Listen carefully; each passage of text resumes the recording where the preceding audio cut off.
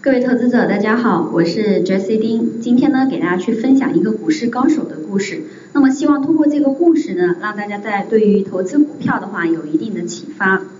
这个故事呢讲的是我去拜访一个师傅，那么师傅呢带我进门，并没有教我任何东西，而是让我去和一些散户去交流。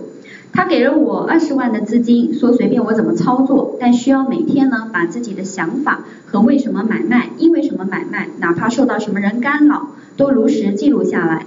他似乎并不着急去看这些东西，只要我这么做一年的时间。对于我而言，突然有了一笔二十万的巨款，虽然不是我的，但总算独立去运作一笔资金，非常兴奋。重新捡起以前掉下的那些股市秘籍，开始呢投资股票。有时间呢去专心的做股票，非常的兴奋。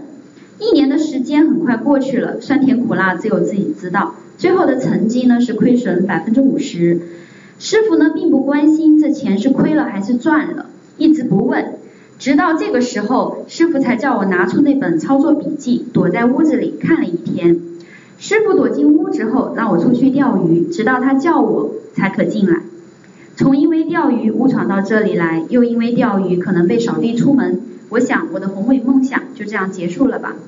继续说着这个故事，我闷闷的一个人钓鱼去，那是一个水库，没有养鱼，都是自然生长的。不远处就有一块牌子上写着“严禁垂钓”。水面平静，守水库的早已和我老熟悉。严禁垂钓只是对外来人说的，我哪有心思钓鱼，只想一个猛子跳进水里去，忐忑不安。不知道师傅会怎样处罚我，我想最大的处罚就是让我走人吧。我这人有个好习惯，就是说到的事情一定要做到，做不到就要先声明。所以日记都是真实记录，绝不弄虚作假。因为师傅告诉过我，这个日记就是将来给你的教材。如果你做一分假，就少一份成长。一定要真实心态，真实的记录，不要认为自己幼稚。每一个人都是从幼稚成长起来的。直到夕阳西下。金色的阳光照进水库的时候，师傅出来了。我正对着夕阳下的水面发呆。师傅走到我身边，并没有提日记的事情，指着水面说：“看，水面像什么？”我说：“像血。”师傅定定地看着我说：“你没有发现一片金色那么壮观？”后来师傅告诉我，我的性格必须有所改变，要学会在悲观中主动乐观，在乐观中发现悲观。他又指着远处的一片玫瑰花园说：“你觉得那是那里是每丛刺上都有花呢，还是每丛花上都有刺呢？”虽然我不知道为什么师傅一年前说要把我的日记当做我的教材，之后呢，他开始真正教我的时候，我才慢慢明白，股市是一个人性集合的场所，在这里最重要的两种心态就是贪和怕，所有的盈利和风险控制都源于这两点。所有的亏损也源于这两点。后来有了点成绩后，再回头看了看我的操作笔记，才发现完全是一本散户的血泪操作史，很多人性的弱点在里面都有非常充分的反应。师傅教我的第一堂课是什么叫做大盘？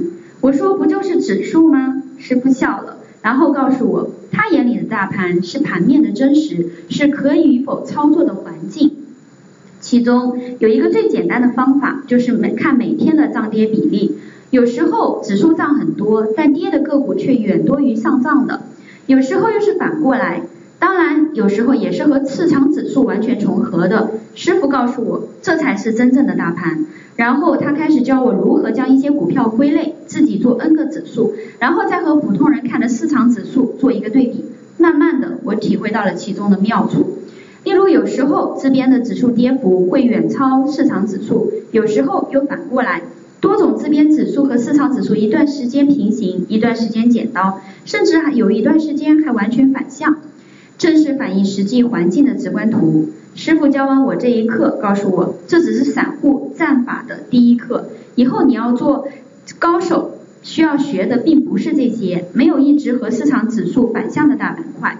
只有极少数个股会因为盘手的个人意志而改变，但不代表整体市场指数依依然永远都是真实的，只是需要看懂这面旗帜的真实舞动方向，如何利用各种指数在期间的时间差，这才是重点。师傅呢教我的散户战法第二课叫做心理分析。那么关于这个心理分析呢是怎么样的？我们呢留到下一次的视频当中呢再给大家去进行讲解。那么今天呢先给大家分享第一个故事。谢。